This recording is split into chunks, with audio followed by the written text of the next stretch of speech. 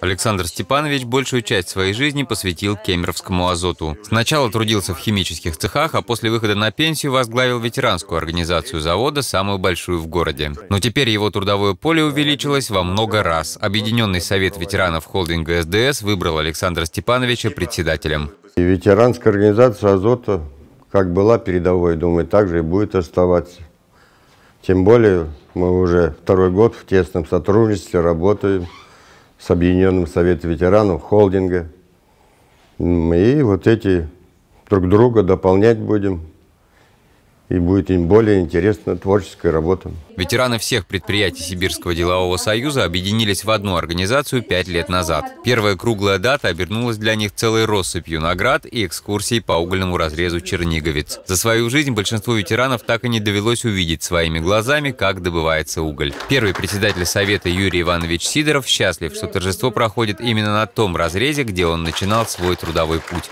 Первую пятилетку отработал здесь представили Корина Ленина, но написали мне, что молодой я, ответили оттуда, и орден Трудового Красного Знамени дали.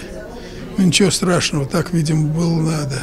Объединенный совет ветеранов Сибирского делового союза – одна из крупнейших подобных организаций в Кузбассе – более 15 тысяч человек. В него входят заслуженные работники самых разных сфер деятельности – угольщики, энергетики, строители и ветераны гражданской авиации. Возможно, именно разнообразный жизненный опыт и делает ее работу успешной. Со своей стороны руководство холдинга делает все возможное, чтобы пенсионеры не испытывали материальных затруднений. Для нас самая главная задача – это защита интересов пенсионеров.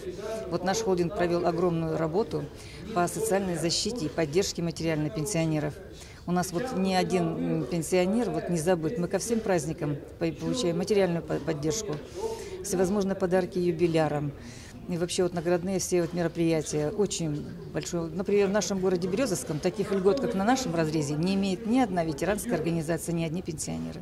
За время карьеры этих людей технический прогресс сделал гигантский шаг вперед. Те работы, которые они выполняли вручную, теперь делают машины, а объем производства вырос в разы. Но и в эпоху высоких технологий ветераны не чувствуют себя чужими. Они остаются живой историей своих предприятий, примером для молодежи и доказательством того, что пенсия – это не окончание, а лишь очередной этап жизненного пути. Аркадий Кимеев, Станислав Грушевский, Новости моего города.